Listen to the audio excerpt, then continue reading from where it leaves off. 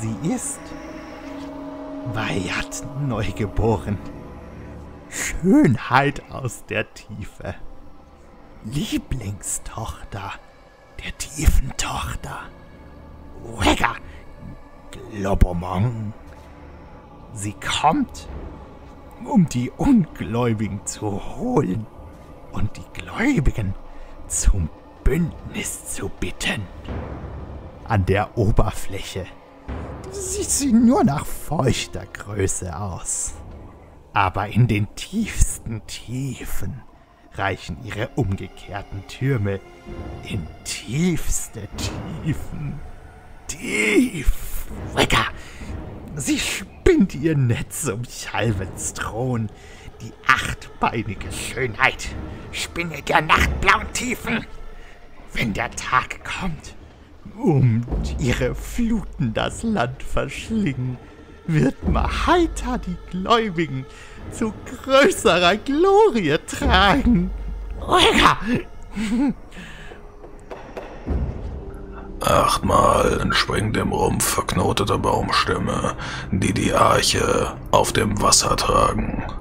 Die Spinnbeine enden in dünnen, zuckenden Wurzeln, die ihre glasartigen Sprossen in die See tauchen.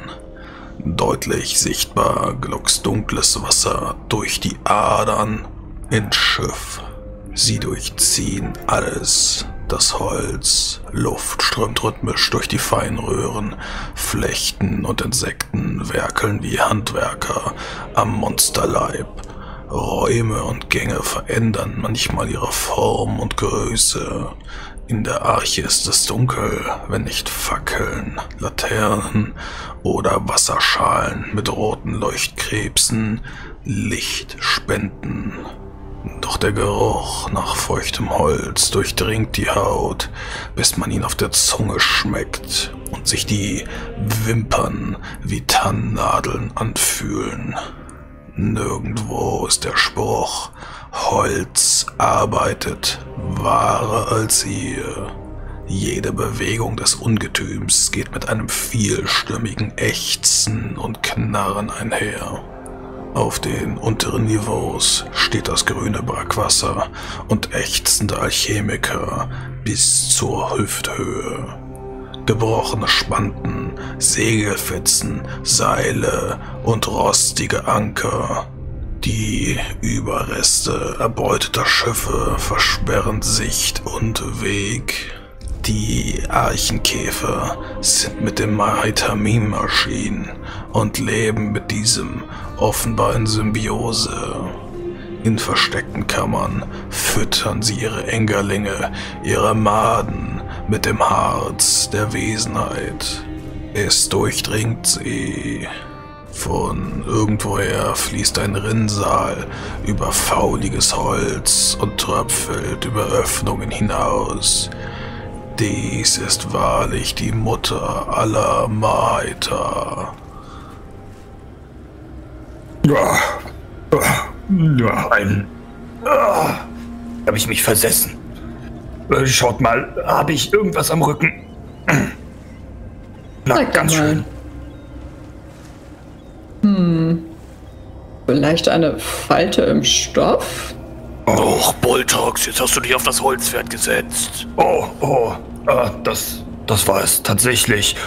Oh, eieiei, das, äh, es piekst ganz schön, Rafim. Ja. Du hast die Ohren sehr spitz gemacht.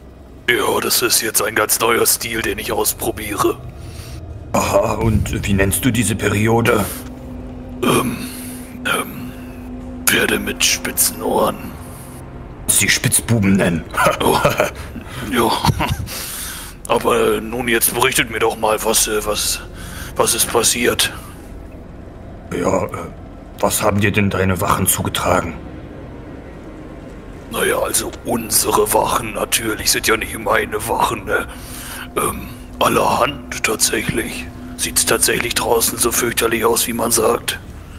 Stinkt sehr, sehr doll. Ähm, und es ist nicht wirklich schön, aber ja, es sieht schon nicht schön aus. Das ist äh, wahr. Das ist schon etwas gewöhnungsbedürftig, vor allem die sogenannten Tempel. Aber nun ja, Was haben wir erwartet? Oh, der vom grünen Mann war sehr schön. Ja, und dieses Vieh hier, lebt das denn noch oder wie kann ich mir das vorstellen? Ich denke schon, dass es lebt. Es bewegt sich nicht stark, aber doch ein bisschen. Es laufen überall diesen verfluchten Käfer umher. Egal wo man hinschaut, diese Käfer. Wir mussten schon die Planken einziehen, dass sie nicht aufs Schiff kommen. Es ist ein Konglomerat aus verschiedensten Schiffen, zusammengehalten durch die dämonische Natur dieses Wesens. Nun, wenn ihr die Korrektur erlauben möchtet, Kapitän, tatsächlich sind diese verschiedensten Schiffe ureigenster Teil des Wesens selbst geworden, nachdem sie den Verdauungsprozess durchlaufen haben. Das sagte ich doch damit. Ihr suggeriert, dass es sich hier um Einzelteile handelt, während es tatsächlich ein großes Ganzes ist. Ich sagte Konglomerat. Dies beinhaltet, dass die Teile dazugehören zum, zum jetzigen Körper. Sicher doch, sicher doch. Naja, jedenfalls, Rafim, wir haben den Herrn der Ache getroffen, aber viel ist dabei nicht herausgekommen. Er hat uns wohl auf die Probe gestellt und nun ja, wir haben den Test wohl gut genug bestanden. Aber bevor wir irgendeine Art von Handel mit ihm schließen konnten, äh, hat er uns stehen lassen, um sich um eine wichtige Angelegenheit zu kümmern. Die Tür geht auf und ihr könnt erkennen, wie Haswolf reinkommt. Ohne zu klopfen, er schiebt sie wieder zu mit seinem Holzbein und sieht sich um. Seid ihr jetzt froh, dass ihr keine Pferde hier habt? Ja. wären bereits längst ausgerastet. Wir sind sehr froh, euch dabei zu haben, Hasswolf. Könnt ihr euch setzen? Ja, mein Bein tut weh. Sudamin äh, rückt ihm mit etwas besorgtem Blick den Stuhl neben sich zurecht, dass er sich setzen kann. Mir tut alles weh, um ehrlich zu sein. Soll ich euch ein wenig Schlaf verschaffen? Nein, ich habe die letzten Tage genug geschlafen. Wie lange bleibt ihr jetzt noch hier? Was haben wir vor? Ja, das äh, wollte ich auch gerade fragen, Kapitän. Nun, so wie es aussieht, werden wir wohl abwarten, bis der Angriff erfolgt. Und nun ja, unser Bestes tun, äh, damit möglichst viele Archen zerstört werden. Kapitän, darf ich etwas vorschlagen? Wir haben hier noch keinen Handel abgeschlossen. Entsprechend, ähm, wenn es sich nicht für uns lohnt, können wir auch wieder auslaufen. Ich sehe hier eigentlich keine Veranlassung, uns mehr zu investieren, wenn es am Ende keinen Gewinn für uns bringt. Nun, eine Zerstörung einer Arche ist immer ein Gewinn. Naja, aber so oder so wird ja eine oder zwei Archen zerstört. Nun, dies können wir nicht voraussetzen. Ich stimme allerdings dem Wort Magus zu. So sehr ich auch einen solchen Handel abgeschlossen sehen möchte, ist es tatsächlich für uns nicht von Vorteil, sollte er nicht zustande kommen, noch hier zu sein, wenn es losgeht. Ja, Boltax, ich glaube nicht, dass hier irgendjemand Archen zerstört, wenn wir es nicht sind. Ich glaube, die werden einfach annektiert. Das ist tatsächlich allerdings die Befürchtung. Wir haben ja bereits die theoretische Möglichkeit aufgestellt, dass die Angreifer mit Hilfe des Globomon-Tempels und seiner Paktierer die Kontrolle über die Arche an sich reißen möchten. Und Hm. Arachno hat sehr freizügig zugegeben, dass dies einer seiner Schwachpunkte ist. Nun, aber ich halte Arachno ehrlicherweise nicht für einen dummen Mann. Er wird doch Besicherungen getroffen haben im Falle seines Ablebens. Hey, Neuer, kannst du sie einfach bitte Ranga nennen? Und Ich wirf kann, in nicht so der mit, Tat, mit Namen umher. ich kann in der Tat, wenn ihr dies wünscht. Verzeiht, ich bezog mich auf die Nomenklatur, die sie für sich selbst verwendeten. Danke. Ich glaube ehrlich gesagt nicht, dass Arachnor irgendetwas für einen Zeitpunkt nach seinem Ableben plant. Denn wem sollte er die Ache hinterlassen? Ich Nun- wusste nicht, dass er irgendwelche Erben oder nun ja Personen, die ihm sehr am Herzen liegen, hätte, denen er die Ache vermachen möchte. In der Tat, das meine ich ja genau damit. Deshalb, ich gehe davon aus, er würde sie lieber erstört wissen, als nicht mehr in seinem Besitz. Nun ja, ich denke, das liegt außerhalb seiner Möglichkeiten, eine Arche dieser Größe so einfach zu zerstören. Eine Eiche jedweder Größe kann durch ihr Herz vernichtet werden. Und Ja. Arachno von Scheurina ist, äh, wie die meisten Abgänger Mirhams, ein begnadeter Godemant. Ihr wart, noch nie, ihr wart noch niemals in, in der Herzkammer einer Arche, nicht wahr? In der Tat nicht, Kapitän. Wenn ich bezog den Fahnern eigenen richtig zugehört habe, dann äh, ist er nicht eigentlich euer Prinz. Zumindest sagt die Dukatengardisten, sagen das. Nun, es gehört zum den Themen, die vom Königshaus im Nicht deiner, du bist bei Waki. Ich meine die beiden anderen, Diamantes und Raphim. Nun, er gilt als der Prinz von Meridiana und es gab immer wieder Spekulationen, ob er Pläne haben könnte, mit Hilfe der Arche dorthin zurückzukehren. Aber ich weiß ehrlich gesagt nichts über die Umstände, die ihn von dort vertrieben haben. Wie ich bereits ausführen wollte, gehört Arachne von Sharina zu den Themen, die man am Königshof als unhöflich betrachtet. Unhöflich im Sinne von, man kriegt den Mund verboten oder unhöflich im Sinne von, dein Kopf wird äh, auf einen Spieß gesteckt. Serpentillo gibt dir ein halbes Grinsen. Naja, kommt drauf an, ähm, wessen Kopf es ist.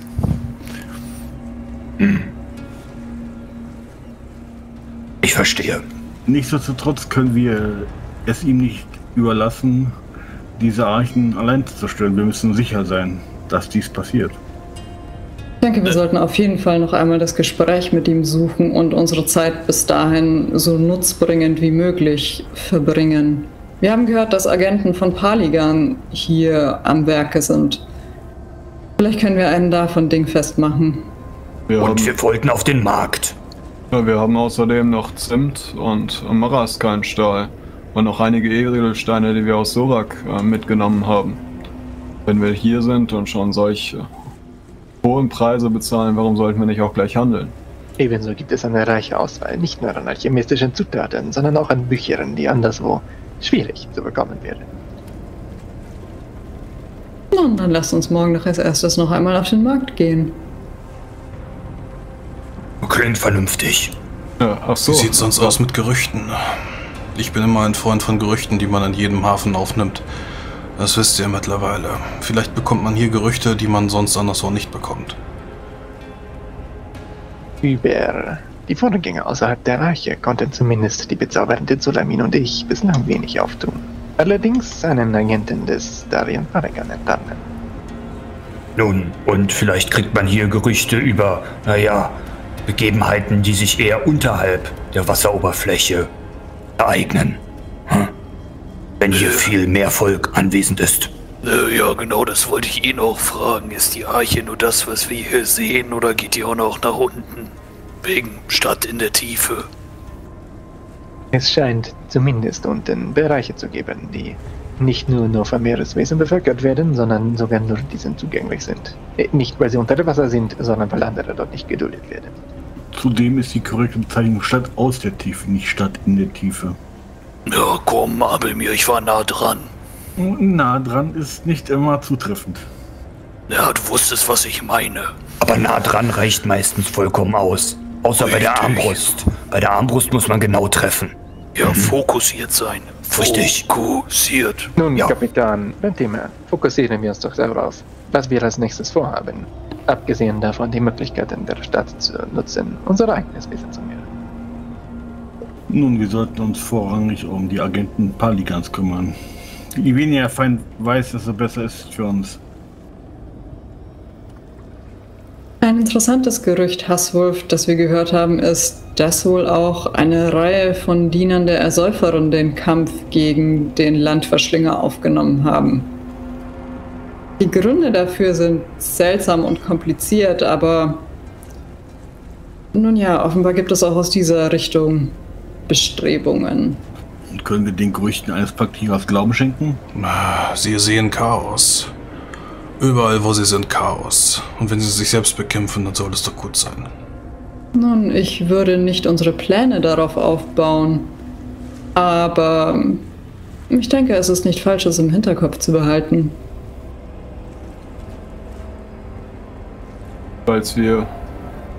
Wir sollten diese Briefe von diesem Bornländer mit, äh, mitnehmen, falls der Prinz oder der Magister äh, diese noch nicht, diese Information noch nicht zu bekommen hat, dann könnte es uns zu, zu unserem Gunsten ausfallen. Schließlich erhebt sich der Feind und da steht es, schwarz auf weiß.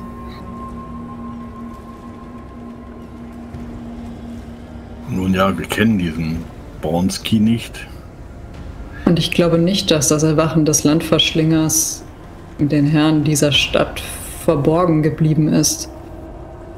Ich dachte, ihr kennt diesen äh, Bornski. Wa- Warum genau hat er denn an dich und Jalan geschrieben, Voltax? Ich äh, habe keine Ahnung. Äh, Wie gesagt, ich gehe davon aus, dass es äh, mein guter Ruf ist, der mir vorausgeheilt ist. Wisst ihr, als ich, ähm, das habe ich ja vorhin schon erzählt, ähm, damals in Belhanka unterrichtet habe, da bin ich auf so einen bornischen Magier gestoßen. Ähm, naja, mit dem habe ich ein, zweimal getrunken und äh, er hat gesungen und nun, wir haben ähm, über meine Heldentaten gesprochen und er hat auch ein bisschen angegeben und dann habe ich vielleicht auch ein bisschen Nee, angegeben. nee, das hat damit nichts zu tun. Greifenmund hat damals äh, Reis nach Festum gebracht und sie vor dem Verhungern gerettet. Die ganze Stadt. Ja, aber das hat ja nichts mit mir zu tun. Nein, aber seitdem ist die Gruppe von Greifenmund äh, zumindest im Bornland ziemlich bekannt und in Valusa war er wohl auch damals. Ja, ja, das erklärt seinen Namen auf dem Brief. Aber meiner wurde ja explizit auch genannt. Und äh, das liegt daran, dass ähm, ich vielleicht ein bisschen mehr erzählt habe, als ich hätte erzählen sollen. Aber das ist nicht so schlimm. Ähm, auf jeden Fall hält man mich im Bornland offensichtlich für einen sehr kompetenten Magier. Bin ich ja auch. Ah, da fällt mir ein, Nabelmi, wir kennen uns ja auch schon eine ganze Zeit. In der Tat. Aswolf, warum begleitest du uns nicht auf in diese Arche, auf diese Stadt und äh, sammelst selbst ein, äh, einige Gerüchte auf? Könnte dir na, vielleicht nicht gefallen, aber gut tun, mal vom Schiff runterzukommen. Tja, bisher hatte ich immer das Schiff in der Abwesenheit. Wenn ihr es jetzt Herrn Nebelklang anvertrauen wollt, dann machen wir das halt. Aber verlass die Schiffe bitte nicht alleine. Ich würde ungern meinen Schiffskaplan verlieren. Dann nehme ich mir Gonach oder sowas mit. Ja, das ist vernünftig. Gonach äh, ist ein guter Mann. Vielleicht sollte eher Magister Kohlrapp in Abwesenheit die Ge Befehlsgewalt innehaben, als nun Nebelklang. Ich möchte davon abraten, euch auf Mangestra Kohlraps Einschätzungsvermögen zu vertrauen, wenn es hart auf hart kommt. Ja, ich würde ihre Fähigkeiten, was das Befehlen eines Schiffes angeht, auch anzweifeln. Ich mag das Biest auch überhaupt nicht, aber ah, es hat damit nichts zu tun. Wenn wir angegriffen werden, dann wird sie sicherlich sowas wie eine magische Verteidigung aufbauen können, aber das Schiff selbst muss von einem profanen Seemann oder einem Seefahrer kommandiert werden. Gut, dann ist es so beschlossen. Angrosch Minia wird das Kommando erhalten. Nicht. Warum? Willst du mich verarschen, Voltax? Ein Seemann muss es halten. Sie ist die kompetenteste auf Bord. Natürlich wäre es das Sinnvollste, aber na, wenn ihr nicht denk- wollt. Ich denke, die Situation ist, denke ich, beendet in diesem Fall. Er denkt mit seinem Schwanz. Nein. Es ist nicht wahr. Wie auch immer. Hast du sie eigentlich schon gevögelt? Ist dies, jetzt das Thema, Silenzium. ist dies jetzt das Thema unserer Unterhaltung? Ja, ich pste ihn. Ich denke, dies bedeutet, dass diese Unterhaltung voll und ganz abgeschlossen ist und wir uns unseren Vorbereitungen widmen sollten. Oder ein wenig Ruhe bekommen. Hasswolf erhebt sich und geht nach draußen. Äh, Aswolf, hättet ihr wohl einen Moment eure Aufmerksamkeit für mich? Er macht den Mund auf und du siehst, dass nichts rauskommt. Dann dreht er, hört sich wieder auch um. nicht. Ich schüttel mit dem Kopf, werfe Voltax einen ernervten Blick zu und eile ihm nach. Lass den Zauber dann auch wieder fallen. Ich mache ihm wirklich äh, Sorgen um Hasswolf. Er scheint ein ge gebrochener Mann zu sein. Niemand beleidigt meine schöne Angrosch Minia. Ach, Ja, Voltax, ähm, wenn du diesen Kampf führen willst, dann wirst du noch viele Kämpfe führen. Nun, dann werde ich viele Kämpfe führen. Wie ein, ähm, naja, Löwe, aber, Ja, wie ein echter Alanfaner. äh, ja. Ähm, wo ich gerade von Alanfanern spreche, wir müssen auch noch mal reden. Ja, ich bin kein Alanfaner. Ich meinte Diamantes. Ach so, äh, alles klar. ja, gerne, Rafim. Ja, komm mit, wir wollen die anderen nicht äh, aufhalten. Ja, jetzt sofort? Ja, dann gut. Ja, Kaplan, einen Moment eurer Zeit. Dürfte ich Abenteuer. mir wohl die Möglichkeit erbitten, euer Auge untersuchen? mein Auge untersuchen. Äh, Ja, Äh, mein funktionierendes. euer nicht funktionierendes. Ich habe nicht mehr damit abgefunden. Keine Magie. Nun, gestattet mir wenigstens die Untersuchung, ja? Ja, schau's dir halt an. Hervorragend. Er klappt seine Augenklappe beiseite und du siehst einen ausgehöhlten, fleischigen Krater. Puh. Wie raus ist das? Also ich möchte das mal aus der Nähe studieren. Äh, Hast du Anatomie? Ich habe Anatomie. Soll ich proben? Ja, mach mal. Das ist gelungen, aber nicht gut. Das Ich ist garantiert nicht meinen Chip. ja, also du weißt nicht, was das war. Ähm, ist zumindest tief gedrungen und hat sein Auge restlos zerstört. Vielleicht Okay. eine Ballestrina-Schuss oder sowas. Okay, beantworte mir nur folgende Frage. Ist noch ein Teil seines Auges da? Oder ist es wirklich komplett weg? Also du, du müsstest mal irgendwie ein bisschen was von dem restlichen Eiter und diesen, diesen äh, roten Fäden wegkratzen, aber ja, da ist vielleicht noch ein Stück da. Also Ich bin Brabaka, ich stehe nicht darüber, da ein bisschen drin rumzupieksen. ja, aber er steht, er wird dir auf alle Fälle sowas von der Faust verpassen, wenn du das tust. Ich will jetzt nicht, ich will mir jetzt nicht wehtun, aber ein wenig nach links und rechts wischen. Ja, Ich, ich nehme das Risiko in Kauf, sagen wir es so. Dann gib mir mal eine. Parade. Ring oder Raufen ist mir egal. Ähm, brrr, kann ich ausweichen? Du kannst ausweichen, ja. 20. Nicht gepasst. Du willst gerade mit deinem Finger. Da ist das ähm, geplatzt. Ah, Schwert, äh, wegen äh, ausweichendem Handgemenge. du willst, äh, du willst gerade mit deinem Finger irgendwie äh, die, die roten Fäden, die sich da jetzt irgendwie als Narbengewebe schon, schon im Inneren des Auges drüber spannen, wird irgendwie äh, beiseite wischen, damit du dann irgendwie auf, auf das äh, hinterliegende ähm, restliche Augen, äh, ja, diese Okular blicken möchtest. Und äh, du hast ihn noch nicht immer richtig berührt, dann merkst du schon, wie Hasswolf zupackt mit seiner Eisenkralle und dein Finger bricht. Er biegt ihn um, es knackt und du spürst ihn nicht mehr. Nur noch dumpfer, pochender Schmerz. Ähm, ich, ich probe gar nicht aus Selbstbeherrschung. Ich glaube, man hört nur von draußen Serpentine einmal laut aufschreit und dann irgendwie versucht sich noch auf den nächstbesten stehenden Stuhl Strich Blumenkübel fallen zu lassen und dabei dann mit dem Rücken zur Wand auf dem Hintern landet. Ja, ich verstehe, ich verstehe. Ein anderes Mal, ja. Ja, schreib dir mal sieben Schadenspunkte auf. Sieben, ähm. Ah, na gut. War schön mit euch gesprochen zu haben. Immer wieder, Rasnolf. Immer wieder. So, Rafim, du wolltest reden? Ja, gib mir mal eine Sekunde. Doktorin, nimm Kapok mit und verpisst euch.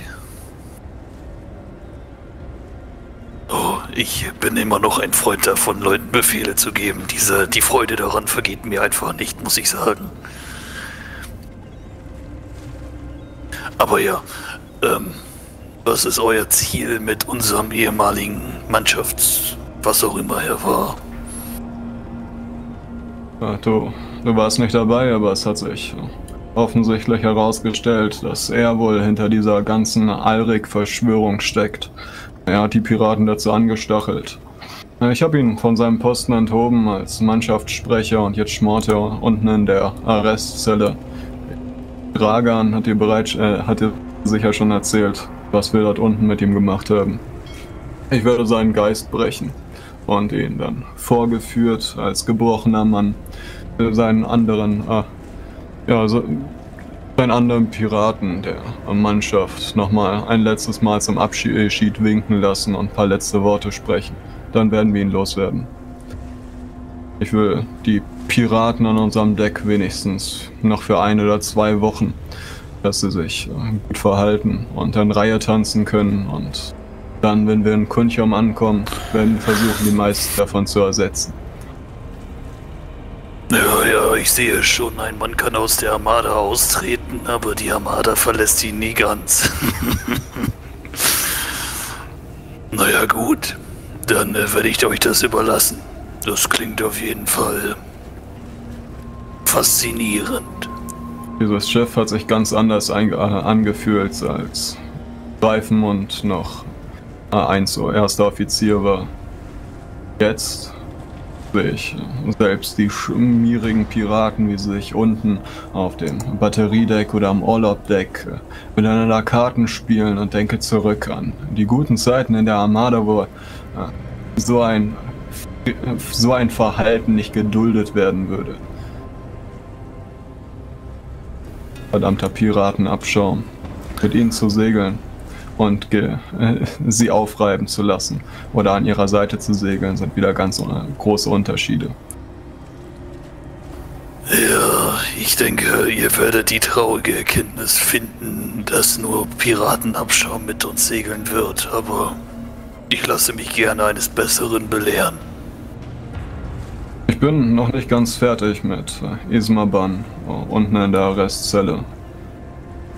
Was äh, hält es ihn davon, um ihn ganz zu brechen, zu zeigen, wie eine Basaltfaust eine solche Sache angehen würde? Naja, nicht, dass ich etwas gegen Folter hätte. Das wäre gelogen. Aber ich möchte doch zu gerne sehen, was ihr tut. Ich hatte schon immer eine Faszination für die Armada, müsst ihr wissen. Und euch jetzt hier als 1O zu sehen, ja, da möchte ich doch mal sehen, was die Armada so aus ihren Männern macht.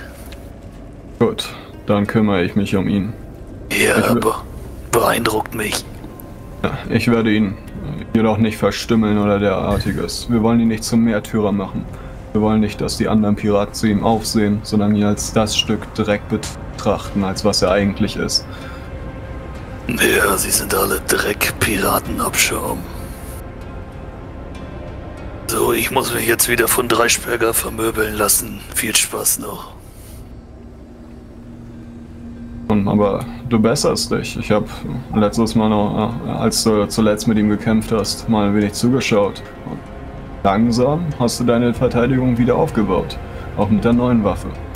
Ja, aber ich, äh, manchmal habe ich den Griff noch nicht so ganz raus. Und der Mann kann ja wirklich mit allem kämpfen, was sich irgendwie in einer Hand befinden kann. Beeindruckend. Wirklich ein beeindruckender Mann. Wenn er doch nur kein Mittelreicher wäre.